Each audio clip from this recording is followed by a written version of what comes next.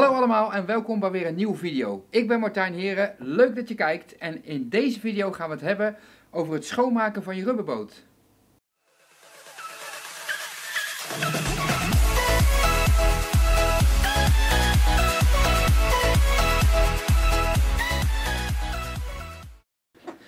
En waar ik nou wel heel benieuwd naar ben, is hoe doen jullie het eigenlijk? Heb jij misschien een hele andere tip? Gebruik je andere materia materialen? Want ja, ik weet natuurlijk ook niet alles. Ik doe dit, ik gebruik deze producten en weet dat het daar goed mee gaat. Maar misschien heb jij wel een hele goede tip voor mij. En uh, ik ben wel benieuwd, hoe maak jij je rubberboot schoon? Of heb je een rubberboot? Is die heel erg vies? Of wat voor problemen kom je nou eigenlijk tegen met de rubberboot? Laat ze weten in de comments. En ik reageer sowieso op de comments. Het kan af en toe wat langer duren, want er komen nogal wat binnen. En ook heel veel e-mailtjes. Maar ik ben heel benieuwd hoe jullie dat nou eigenlijk doen. Nou, er zijn natuurlijk ontzettend veel schoonmaakproducten voor rubberboten op de markt.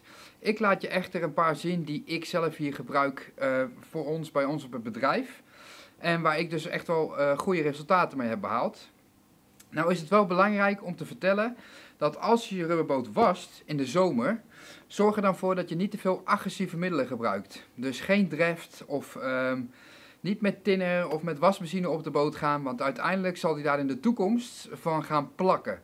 En dan krijg je, wat krijg je dan? Dan krijg je een rubberboot die echt gaat kleven. dus dan wil het zeggen dat als je eh, na een tijdje in de zon gelegen te hebben, die chemicaliën van het schoonmaakmiddel worden dan door het UV-licht helemaal in de boot gebrand. En dan krijg je uiteindelijk dat hij zo vies gaat plakken en gaat kleven. Dus zorg ervoor dat je hem gewoon met normaal, eventueel een bootshampoo, dit is degene die ik gebruik, en uh, was hem gewoon met een bootshampoo en of gewoon met alleen water en een doekje. Daar komt het helemaal mee goed. en hij gaat er alvast bij liggen. Maar je kan natuurlijk ook gewoon uh, de schoonmaakproducten pakken die ik hier gebruik.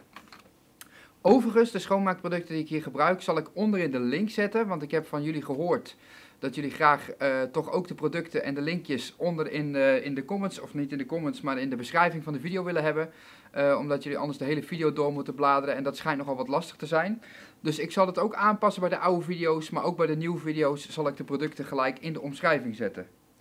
Nou is het zo met het wassen van de boot, hè, dus uiteindelijk zal die vies worden door wind, uh, regen, uh, eventueel algen, dat ik hem ook schoonmaak als het echt niet gewoon oppervlakkig vuil is, maar echt wel een beetje ingevreten zit, dus als vogelpoep kan ook. Dan gebruik ik hier bijvoorbeeld van Alpa en dat is de, de rubberbootreiniger. Dit is een heel geconcentreerd middeltje. En deze fles, daar kan je dus mee afmeten met hoeveel je toevoegt aan een zoveel liter water. Ook het, uh, uh, de verhouding staan gewoon achter op de fles. Dus zorg ervoor dat je niet te veel gebruikt. Want te veel, het is behoorlijk geconcentreerd en uiteraard zal die dan misschien zelfs gaan verkleuren. Dus zorg er wel voor dat je het goed gebruikt. Dus lees ook de gebruiksaanwijzing hier op de achterkant. Nou, we hadden het ook al even gehad over het wassen. Dat is dus gewoon met bootshampoo.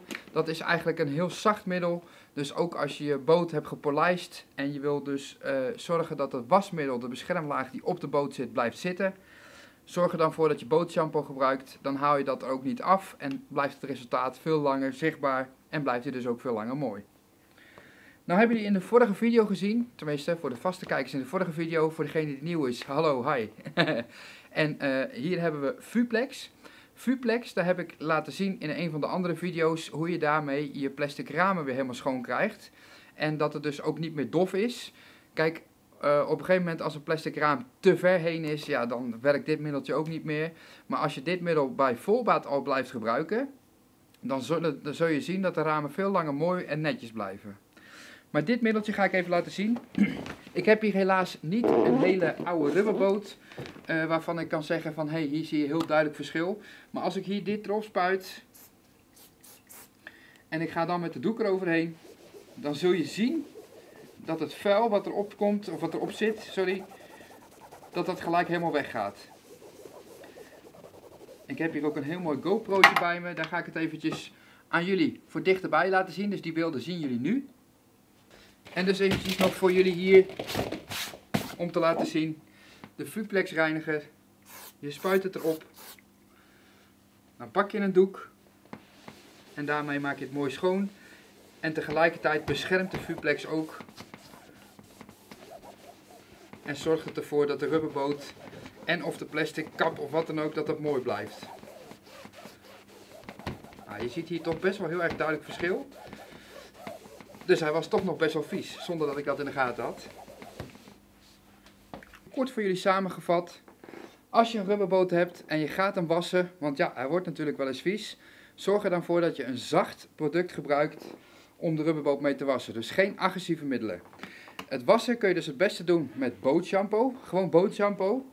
Als die echt heel extreem vies is, ja, dan zou ik toch aanraden om met deze, dit is dan toevallig een van Alpa, een opblaasbootreiniger. Zorg er dan voor dat je met, met deze hem gaat wassen. Want ja, als een boot echt heel erg vies is en hij heeft dat achterstallig onderhoud, dan ga je het met bootshampoo niet redden. En voor de vlekken in de rubberboot, uiteindelijk zou ik gewoon aanraden om Fuplex te gebruiken. Fuplex, dat is een middeltje wat ervoor zorgt dus dat het vel eruit trekt. En tevens ook een soort beschermlaagje achterlaat om uh, uiteindelijk in het voorjaar of wat dan ook. Uh, en Vuplex is dus uiteindelijk een beschermmiddel. Dus in het hele jaar blijft de boot ook veel mooier en veel schoner. En als er al vuil op komt, dan kun je dat er heel makkelijk weer afkrijgen. En dat doe je dan weer als je de rubberboot wast met eventueel gewoon een bootshampoo. Ik wil jullie hartstikke bedanken voor het kijken naar deze video. Heb je nou nog leuke tips voor mij? Laat ze dan weten onder in de comments. En anders, tot de volgende video.